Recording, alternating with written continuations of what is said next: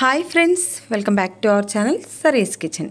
ఈరోజు మన రెసిపీ వచ్చేసి మనం కేక్ పైన టాపింగ్ వేసుకునే విప్పుడు క్రీమ్ అనమాట సో దీన్ని ఇంట్లోనే చాలా ఈజీగా ప్రిపేర్ చేసుకోవచ్చండి.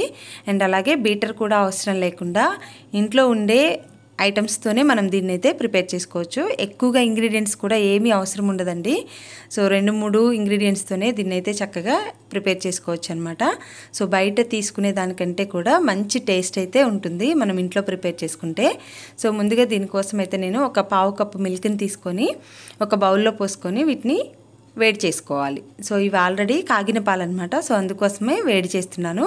మీరు పచ్చిపాలను తీసుకునేటట్టయితే కాసేపు మరగ కాచుకోండి. కాచుకుంటే పచ్చివాసన అనేది లేకుండా ఉంటుందన్నమాట. సో వీటిని ఒక బౌల్లోకి ట్రాన్స్ఫర్ చేసుకోవాలి. ఇలా ట్రాన్స్ఫర్ చేసుకున్న బౌల్లో అలా వేడి వేడిగా ఉండగానే మనం పౌడర్ షుగర్ అనమాట ఇది నేను ఒక కప్పు పౌడర్ షుగర్ తీసుకున్నాను. షుగర్ని మనం పౌడర్ చేసుకుంటాం కదండి బాగా ఫైన్గా పౌడర్ చేసుకోవాలి. ఇలా ఫైన్గా పౌడర్ చేసుకున్న దీన్ని మనం ఈ వేడిగా ఉన్నప్పుడే మిల్క్ ఇలా కొద్ది కొద్దిగా కొద్ది కొద్దిగా వేసుకుంటూ మొత్తం కూడా మిక్స్ చేసుకోవాలి. ఒకేసారి వేసుకుంటే మనకు పాలల్లో మిక్స్ అనేది అవ్వదండి. సో ఇలా వేడిగా ఉన్నప్పుడే కొద్ది కొద్దిగా వేసుకుంటూ మొత్తం మిక్స్ చేసుకోవాలి. ఇలా మిక్స్ చేసుకుంటే మనకు టోటల్గా మిక్స్ అవుతుందన్నమాట. సో చూడండి ఇక్కడ. సో నేను ఎలా కలుపుతున్నానో. అలా వేడిగా ఉన్నప్పుడే మిక్స్ చేసుకోవాలి. పాలు అనేవి చల్లారిపోతే ఇది గడ్డ కట్టిపోతుంది అనమాట సరిగ్గా మిక్స్ అవ్వదు. పాలు అనేవి బాగా వేడిగా ఉన్నప్పుడే దీంట్లో మిక్స్ చేసుకోండి. సో ఇలా మిక్స్ చేసుకొని దీన్ని ఒక సైడ్కి పెట్టుకోండి. సో అది చల్లారుతూ ఉంటుందన్నమాట. అండ్ తర్వాత ఇప్పుడు మరొక బౌల్ తీసుకొని దీంట్లోకి బటర్ని యాడ్ చేసుకోవాలి. సో బటర్ కూడా నేను ఇది హోమ్ మేడ్ బటర్ అండి. ఇంట్లోనే ప్రిపేర్ చేసుకున్న బటర్ అనమాట లేదంటే మీరు అమూల్ బటర్నైనా తీసుకోవచ్చు. నేను ఇక్కడ నియర్లీ హండ్రెడ్ గ్రామ్స్ దాకా తీసుకున్నాను. సో ఇంట్లో ప్రిపేర్ చేసుకున్న బటర్ని కాసేపు మళ్ళీ ఫ్రిడ్జ్లో పెట్టుకోండి. రూమ్ టెంపరేచర్లో ఉన్నది కాకుండా మరి అలాగని గట్టిగా ఉన్న బటర్ కాకుండా సో దీన్ని తీసుకోవాలి. మీడియంగా ఉన్న బటర్ని తీసుకోవాలన్నమాట.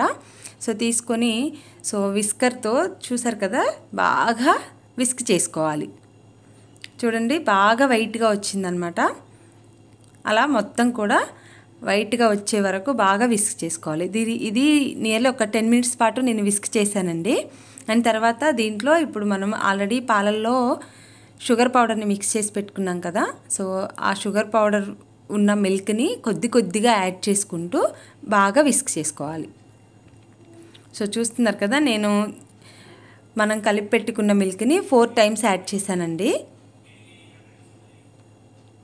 సో ఇలా కొద్ది కొద్దిగా కొద్ది కొద్దిగా యాడ్ చేస్తూ బాగా విస్క్ చేసుకోవాలి. ఒకేసారి మొత్తము అస్సలు యాడ్ చేయొద్దనమాట మనకు కలపడం అనేది బాగా కష్టమవుతుంది. సో కొంచెం విస్క్ చేసుకోవడం అనేది బాగా చేసుకోవాలి. అలా చేసుకుంటేనే ఇది బాగా ప్లఫీగా వస్తుంది. సో చూస్తున్నారు కదండి నేను బాగా విస్క్ చేస్తున్నాను. సో దీన్ని అంతా వేసిన తర్వాత కూడా నేను దగ్గర దగ్గర ఒక టెన్ మినిట్స్ పాటు విస్క్ చేశాను.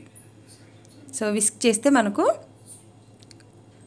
మనం ఎంత బాగా విస్క్ చేస్తే క్రీమ్ అనేది అంత పర్ఫెక్ట్గా వస్తుంది.